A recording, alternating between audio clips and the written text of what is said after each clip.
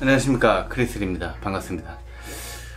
오늘 여러분과 좀 진지하게 사이클의 자세에 대해서 한번 뭐 토론을 하는 시간을 가져보도록 하겠습니다. 어, 사이클에는 크게 세 가지 정도의 자세를 나눠줄 수 있죠.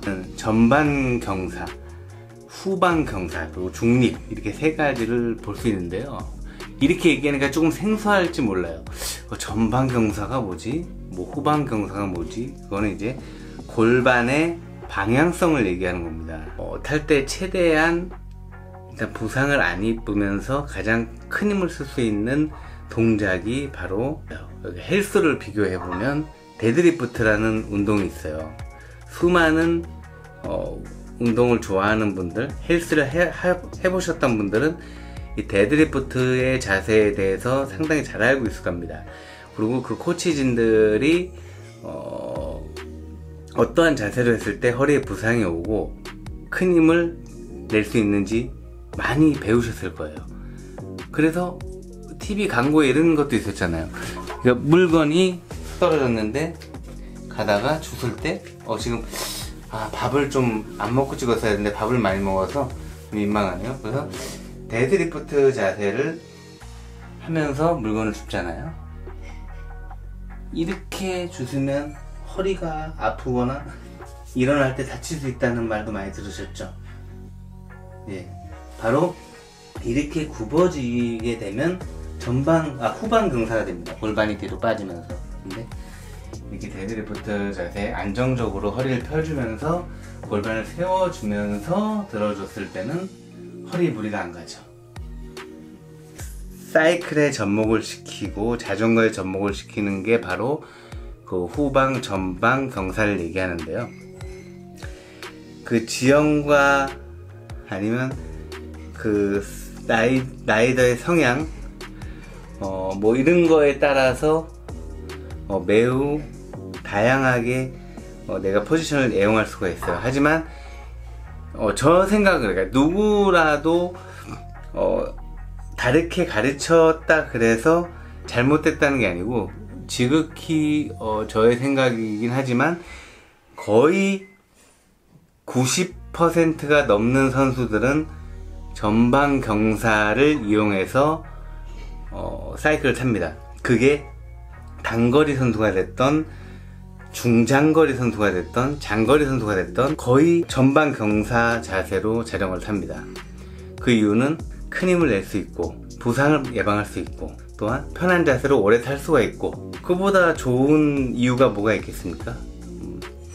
하지만 후방 경사 같은 경우는 어렸을 때 내가 너무 작은 자전거를 타고 운동을 했거나 엄청나게 잘못된 피팅으로 어, 운동을 시작했던 게 화근이 돼서 성인이 돼서까지 그렇게 자전거를 타왔는데 뭐 세계적으로 가장 유명한 선수가 되거나 뭐 잘 탔어요. 어, 그러면 그 자세가 정답이 되는 거죠. 그래서 어, 하나 예를 들자면 그 암스트롱이라는 선수 아시죠? 되게 유명한 세계에서 Tour de France를 7연패 했을 정도로 상당히 유명했던 선수인데 약물로 인해서 모든 걸 박탈당했던 선수입니다. 하지만 자세가 또 역시 어떻게 보면 약간 후방에 가까운 그런 자세를 가지고 있었어요. 물론 그 동료들은 전방 경사의 자세를 가지고, 가지고 있었지만 어, 제가 볼 때는 어렸을 때의 자세를 못 바꾼 것 같아요. 네. 그러니까 뭐 크리스 호이라는 세계에서 가장 빨랐던 선수도 이런 말을 하잖아요. 내가 어렸을 때 팔을 벌리는 그 버릇만 어, 고쳤다면 내가 조금 더 좋은 기록을 내고 은퇴를 할 수 있었을 텐데 그게 아직 아쉽다고 얘기할 정도로 절대 어렸을 때가 처음에 배웠던 자세를 바꾸기가 그만큼 힘들다는 겁니다. 그리고 수많은 이제 인플루언서들, 어, 특히 여성 인플루언서들이 어, 급하게 자전거를 맞추고 이제 자전거에 뛰어들어서 이쁘게 사진을 찍다 보니까 어, 갑자기 에어로틱한 자세, 낮은 자세를 어, 억지로 만들다 보면 100이면 100 후반 경사가 나와버려요. 왜냐면 내가 전문적으로 사이클을 어, 힘을 빼면서 에어로를 만드는 자세를 배우지 않고 무조건 따라하는 거죠. 어, 저렇게 외국 선수들 아니면 외, 외국 여자 선수 인플루언서들이 다 저렇게 낮은 자세로 하니까 나도 저렇게 하면 이 자세 나오겠지. 그 자세를 어, 교육 없이 따라하다 보면 분명히 어, 오래 타지 못합니다. 그리고 허리와 목에 담이 분명히 오게 돼 있어요. 근데 여러분들도 되도록이면 어, 사이클을 배우실 때는 기본적으로 전방 경사를 가져가 주시는 게 맞다고 보고요. 내가 부득이하게 어, 전방 경사를 가져감에 있어서 뭔가 어, 팔목이 불편하거나 어디인가에 어, 오금에서 약간 이상한 느낌이 온다. 그럴 때는 한 번씩 를 잡고 편하게 탈 때는 후방 경사를 타든 전방 경사를 타든 크게 무리는 없습니다. 낮은 시속과 아주 편안하게 갈 때는 말이죠. 자, 낮은 기아로. 근데 정말 내가 스피드를 내거나 뭔가 공격적으로 자전거를 탈 때 빠르게 타고 자전거를 잘 탈 때는 분명히 후방 경사는 이로운 점이 많이 없어요.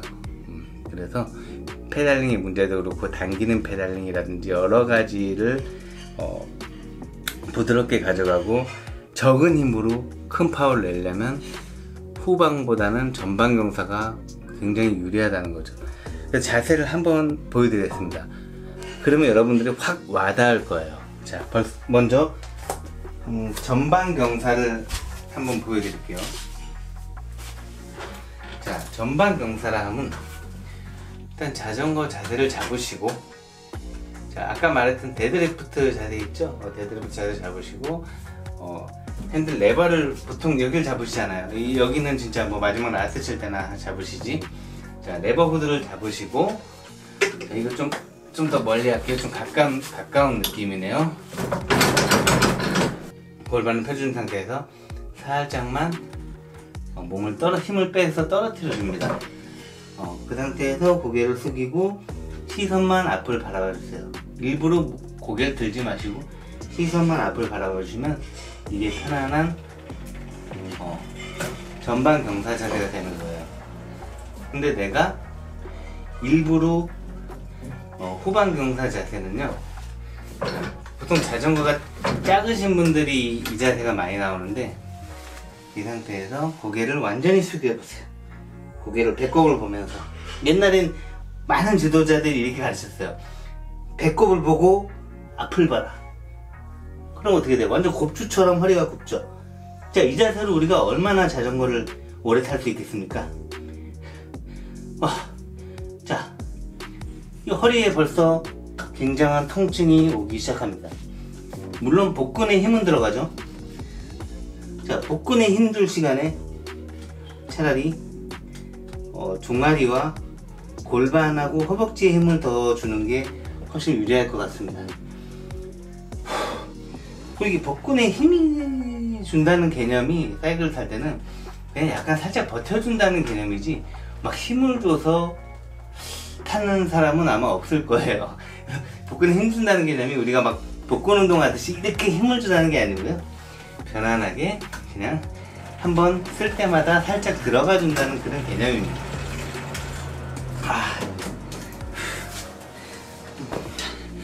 내가 처한 상황과 그 지형 이런 거에 맞게 아니면 기어 어? 아니면 내 컨디션에 내 몸에 지금 반응하는 컨디션에 맞춰서 가끔씩 자세의 변화는 줄 수 있을지언정 음, 최대한 여러분들이 자전거를 시작하고 배울 때 어, 가장 가져가야 되는 게 바로 음, 전방 경사를 저는 추천한다는 것이죠. 여러분들이 전방 경사가 잘 안 된다는 건 굉장히 앞뒤가 자, 좁은 자전거를 타고 계신다는 것도 있고요. 아니면 어렸을 적에 암스트롱이라는 선수의 자세를 보고 영감을 받아서 운동을 하셨는데 그 자세를 못 버리시는 경우가 또 있으시고요.